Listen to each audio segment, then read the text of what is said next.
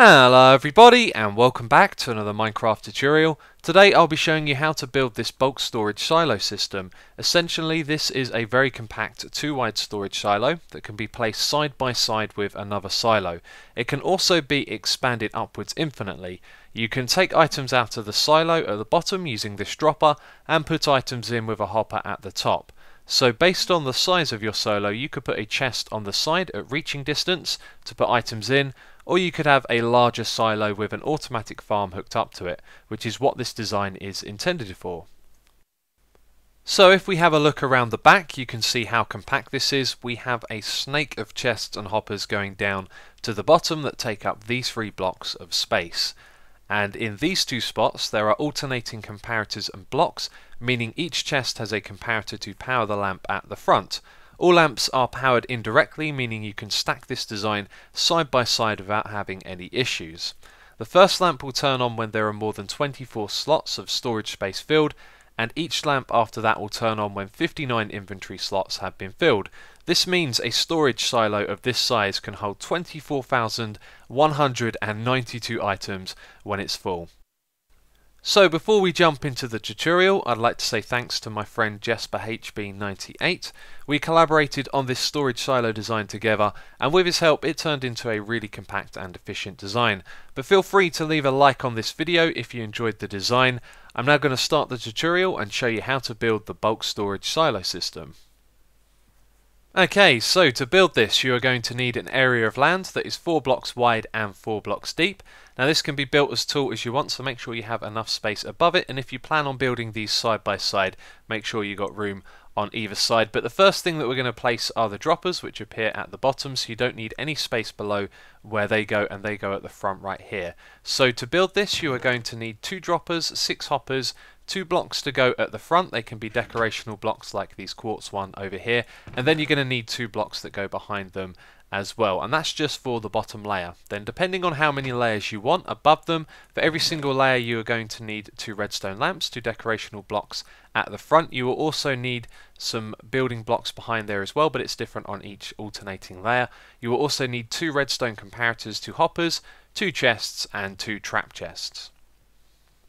So the first layer is really simple to build. We want to start off by placing down our droppers at the front. Now I've put them facing upwards so we can see that side of the block. It doesn't really matter. You can have them like this if that's how you want to display it. Then on either side we're going to put our decorational blocks and behind those are more functional blocks. They can be any type of course. And then back here we want to place some hoppers facing into the dropper in front like that going round to the side and then we do that on either side and that is the first layer of this done. So we are going to build our first layer of chests and bear in mind there are two alternating layers here but we're going to start off by putting our decorational blocks on the outside and then our redstone lamps on the inside. Then if we go around to the back here we want to place our two building blocks like that and then on the outside here we want to put a chest and then a dropper facing into that chest. Now on this side over here, we're going to put another chest like that, but if you want to have these things built side by side, then this will need to be a trap chest, so the next one has a regular chest that can be next to it like that. Then we want to put a hopper into the back, and then all we have to do is put a comparator on either side, and that is our first layer of chests done. So we will start off the second layer of chests like the last one. We are going to put our decorational blocks on either side and then put our redstone lamps in the middle. Now around the back of this we want to put four blocks in a row like so and then we're going to put two comparators here facing into those blocks. Then behind them we can put our chests. So on this one over here we want a regular chest, on the other side it will be a trapped one so they can go side by side and then all we need to do is put a hopper facing into this one and a hopper facing into that one and then it is complete. So that is everything you need to know to build this. All you need to do now is repeat this layer and then the one above it going upwards, but I thought that I would show you how to do that again. So let's do that first layer. We need to place our decorational blocks and lamps, and behind it we need comparators on either side, and then blocks above these comparators down below.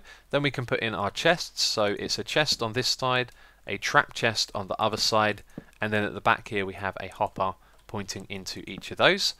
So back to the front for the next layer, we put a decorational block on either side, then our redstone lamps. Then behind here we've got four blocks in a row like so. Now we can put in our comparators and then our chests. So again, trap chest on that side, regular one on this side, and then we just put in our droppers. So that really is all you need to know on how to build this. Of course, these hoppers at the top is where you would hook up your automatic farms, or if you wanted to do something with the chest like I showed earlier in the video, then you would have an extra hopper there and your chest at the top. But that is it for this video. If you'd like to download this world, there will be a link in the description box down below. But as always, thank you very much for watching, and I will catch you next time.